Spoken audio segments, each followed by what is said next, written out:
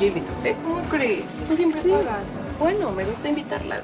Además, me la paso muy bien con ustedes, así que vale la pena. ¿va? Gracias. Gracias. Y no hay que hablar de dinero porque eso es muy feo, es muy grosero y ya. Salud. Fondo. Ok.